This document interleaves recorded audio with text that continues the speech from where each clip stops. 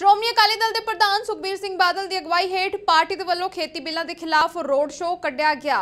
ਸੁਖਬੀਰ ਬਾਦਲ ਨੇ ਮੁੱਖ ਮੰਤਰੀ ਕੈਪਟਨ ਅਮਰਿੰਦਰ ਸਿੰਘ ਨੂੰ ਮੰਗਾਰਿਆ ਜਦੋਂ ਕਿ ਸੁਖਬੀਰ ਤੋਂ ਸਵਾਲ ਪੁੱਛਿਆ ਗਿਆ ਕਿ ਕੈਪਟਨ ਸਾਹਿਬ ਕਹਿੰਦੇ ਨੇ, ਜੇਕਰ ਸਾਰੀਆਂ ਪਾਰਟੀਆਂ ਇੱਕੋ ਝੰਡੇ ਹੇਠ ਆ ਜਾਣ, ਤਾਂ ਉਹ ਖੁਦ ਇਸ ਅੰਦੋਲਨ ਦੀ ਅਗਵਾਈ ਕਰਨਗੇ। ਤਾਂ ਜਵਾਬ 'ਚ ਸੁਖਬੀਰ ਨੇ ਕੈਪਟਨ ਨੂੰ ਵੰਗਾਰਦਿਆਂ ਕਿਹਾ ਕਿ ਅਗਵਾਈ ਕਰਨ ਲਈ ਵੱਡੇ ਜੇਰੇ ਦੀ ਲੋੜ ਹੈ। ਸੜਕਾਂ ਤੇ ਉਤਰਨਾ ਪੈਂਦਾ ਹੈ, ਲੋਕਾਂ 'ਚ ਵਿਚਰਨਾ ਪੈਂਦਾ ਹੈ। ਅਸੀਂ ਉਹਨਾਂ ਨੂੰ ਕਿੱਥੇ ਲੱਭਦੇ ਰਹਾਂਗੇ? ਇਸ ਮੌਕੇ ਸੁਖਬੀਰ ਬਾਦਲ ਨੇ ਕੇਂਦਰ ਸਰਕਾਰ ਦੇ ਖਿਲਾਫ ਗੁੱਸਾ ਕੱਢਦਿਆਂ ਕਿਹਾ ਕਿ ਅਜਿਹੀ ਸਰਕਾਰ ਦੇ ਨਾਲ ਬਿਲਕੁਲ ਕੰਮ ਨਹੀਂ ਕਰ ਸਕਦੇ। ਜਿਹੜੀ ਕਿਸਾਨ ਵਿਰੋਧੀ ਹੈ, ਉਹਨਾਂ ਕਿਹਾ ਕਿ ਉਹਨਾਂ ਨੂੰ ਮੰਤਰੀ ਦੇ ਅਹੁਦੇ ਤੇ ਕੁਰਸੀਆਂ ਨਹੀਂ ਚਾਹੀਦੀਆਂ, ਸਗੋਂ ਪੰਜਾਬ ਦੀ ਕਿਸਾਨੀ ਦੇ ਨਾਲ ਨੇ। ਸੁਖਬੀਰ ਬਾਦਲ ਨੇ ਕਿਹਾ ਕਿ ਭਾਵੇਂ ਕੇਂਦਰ ਸਰਕਾਰ ਨੇ ਖੇਤੀ ਬਿੱਲਾਂ ਨੂੰ ਪਾਸ ਕਰ ਦਿੱਤਾ ਹੈ, ਪਰ ਪੰਜਾਬ ਦੇ ਕਿਸਾਨਾਂ ਦੇ ਦਬਾਅ ਦੇ ਕਾਰਨ ਮੋਦੀ ਸਰਕਾਰ ਨੂੰ ਆਪਣਾ ਫੈਸਲਾ ਲੈਣ ਲਈ ਮਜਬੂਰ ਹੋਣਾ ਪਵੇਗਾ। ਖੇਤੀ ਵਿਰੋਧ ਆਏ ਤਿੰਨ ਕਾਨੂੰਨਾਂ ਦੇ ਵਿਰੋਧ ਦੇ ਵਿੱਚ ਆਪਣੇ ਅਹੁਦੇ ਤੋਂ ਅਸਤੀਫਾ ਦੇ ਕੇ ਕਿਸਾਨਾਂ ਦੇ ਹੱਕ ਵਿੱਚ ਨਿਤਰੇ ਸ਼੍ਰੋਮਣੀ ਅਕਾਲੀ ਦਲ ਦੇ ਵੱਲੋਂ ਰਾਸ਼ਟਰਪਤੀ ਦੇ ਨਾਂ ਤੇ ਮੰਗ ਪੱਤਰ ਦਿੱਤੇ ਜਾਣ ਲਈ ਚੰਡੀਗੜ੍ਹ ਜਾਣ ਦਾ ਪ੍ਰੋਗਰਾਮ ਉਲੀਕਿਆ ਗਿਆ ਸੀ, ਜਿਸ ਦੀ ਅਗਵਾਈ ਸਾਬਕਾ ਕੈਬਨਿਟ ਮੰਤਰੀ ਹਰਸਿਮਰਤ ਕੌਰ ਬਾਦਲ ਕਰ ਰਹੇ ਸਨ। ਜਦੋਂ ਕਾਫਲਾ ਮੁੱਖ ਮਾਰਗ ਤੇ ਸਥਿਤ NH7 ਹਾਈਵੇ ਪਲਾਜ਼ਾ ਤੱਕ ਪੁੱਜਾ,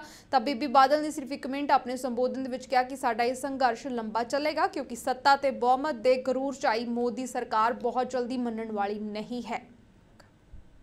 ਕਿਸਾਨ ਮਜ਼ਦੂਰਾਂ ਤੇ ਆੜਤੀਆਂ ਦਾ ਭਰੋਸਾ ਸਰਕਾਰ ਦੇ ਪ੍ਰਤੀ ਬਹਾਲ ਰਹਿ ਸਕੇ। ਅਕਾਲੀਆਂ ਦੇ ਵੱਖ-ਵੱਖ ਨੁਮਾਇੰਦਿਆਂ ਦੇ ਵੱਲੋਂ ਤਖਤ ਸ੍ਰੀ ਅਕਾਲ ਤਖਤ ਤਖਤ ਸ੍ਰੀ ਦਮਦਮਾ ਸਾਹਿਬ ਅਤੇ ਤਖਤ ਸ੍ਰੀ ਕੇਸਗੜ੍ਹ ਸਾਹਿਬ ਤੋਂ ਰੈਲੀਆਂ ਦੀ ਸ਼ੁਰੂਆਤ ਕੀਤੀ ਗਈ ਸੀ, ਜਿਸ ਦੀ ਅਗਵਾਈ ਖੁਦ ਸ਼੍ਰੋਮਣੀ ਅਕਾਲੀ ਦਲ ਦੇ ਪ੍ਰਧਾਨ ਸੁਖਬੀਰ ਸਿੰਘ ਬਾਦਲ ਨੇ ਕੀਤੀ।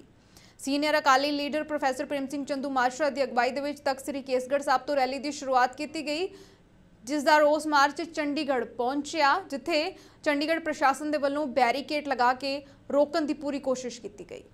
ਤਿੰਨ ਖੇਤੀ ਕਾਨੂੰਨਾਂ ਦੇ ਰੋਸ ਦੇ ਵਿੱਚ ਸ਼੍ਰੋਮਣੀ ਅਕਾਲੀ ਦਲ ਦੇ ਵੱਲੋਂ ਤਿੰਨ ਤਖਤਾਂ ਤੋਂ ਕੇਂਦਰ ਸਰਕਾਰ ਦੇ ਵਿਰੁੱਧ ਰੈਲੀਆਂ ਕਰਨ ਦਾ ਐਲਾਨ ਕੀਤਾ ਗਿਆ ਸੀ, ਜਿਸ ਦੀ ਸ਼ੁਰੂਆਤ ਹੋ ਗਈ। Senior Akali leader professor Prem Singh Chandumajra ਦੀ ਅਗਵਾਈ 'ਚ ਤਖਤ ਸ੍ਰੀ ਕੇਸਗੜ੍ਹ ਸਾਹਿਬ ਤੋਂ ਰੈਲੀ ਦੀ ਸ਼ੁਰੂਆਤ ਹੋਈ, ਜਿਸ ਤੋਂ ਪਹਿਲਾਂ ਉਹਨਾਂ ਨੇ ਪੱਤਰਕਾਰਾਂ ਦੇ ਨਾਲ ਖਾਸ ਤੌਰ ਤੇ ਗੱਲਬਾਤ ਕੀਤੀ। ਦੇਖੋ, ਰਾਜਨੀਤੀ ਅਸੀਂ ਕਿਸਾਨ ਹਿੱਤਾਂ ਲਈ, ਕਿਸਾਨ ਦੇ ਮਸਲੇ ਹੱਲ ਕਰਾਉਣ ਲਈ ਆ, ਅਸੀਂ ਕੋਈ ਜਾਤੀ ਆਪਣੀਆਂ ਜ਼ਮੀਨਾਂ ਲਈ ਜਾਂ ਆਪਣੇ ਨਿੱਜੀ ਲਾਭ ਲਈ ਨਹੀਂ ਕਰ ਰਹੇ। ਕਿਸਾਨਾਂ ਦੀ ਆਵਾਜ਼ ਬਣ ਕੇ ਕਿਸਾਨ ਦੇ ਹਿੱਤ ਲਈ, ਕਿਸਾਨ ਤੇ ਜਿਹੜਾ ਇਹ ਮਾਰੂ ਹਮਲਾ ਹੋਇਆ ਇਹਨੂੰ ਰੋਕਣ ਲਈ ਅਸੀਂ ਰਾਜਨੀਤਿਕ ਪਾਰਟੀਆਂ, ਰਾਜਨੀਤਿਕ ਲੋਕ ਵੀ ਮੈਦਾਨ ਦੇ ਵਿੱਚ ਆਇਆ ਸੜਕਾਂ ਤੇ ਆਏ ਆ। ਜਦੋਂ ਦਿੱਲੀ ਜਾਈਦਾ ਰਸਤੇ 'ਚ ਚੰਡੀਗੜ੍ਹ ਆਉਂਦੀ ਆ ਤੇ ਚੰਡੀਗੜ੍ਹ ਦਿੱਲੀ ਦਾ ਨੁਮਾਇੰਦਾ ਬੈਠਾ।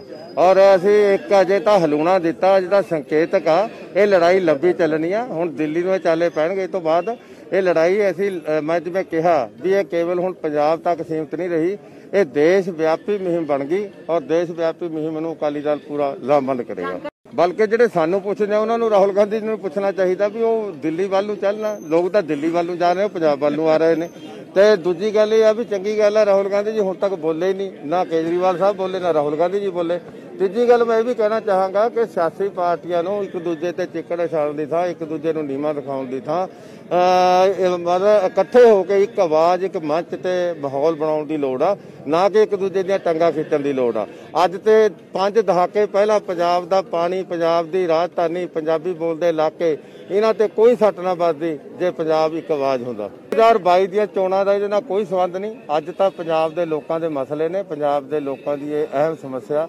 ਪੰਜਾਬ ਵਿੱਚ ਜਿਹੜਾ ਮੰਡੀਕਰਨ ਸਿਸਟਮ ਦੇਸ਼ ਦੇ ਵਿੱਚ ਨਵੇਕਲਾ ਅਕਾਲੀਆਂ ਨੇ ਬਣਾਇਆ ਸੀ, ਉਹਨੂੰ ਸੱਟ ਵੱਜਣ ਦੇ ਖਤਰੇ ਖੜੇ ਹੋਏ ਨੇ। ਐਮਐਸਪੀ ਨੂੰ ਖਤਰੇ ਖੜੇ ਹੋਏ ਨੇ, ਸਰਕਾਰੀ ਪਰਚੇਜ ਤੇ ਅੱਜ ਹੁਣ ਝੋਨਾ ਰੋਲਣ ਲੱਗ ਗਿਆ ਮੰਡੀਆਂ ਦੇ ਵਿੱਚ। ਇਹ ਸਾਰੇ ਖਤਰੇ ਜਿਹੜੇ ਮੰਡਲਾ ਰਹੇ ਨੇ, ਉਹਨਾਂ ਨੂੰ ਰੋਕਣ ਦੀ ਲੋੜ ਹੈ।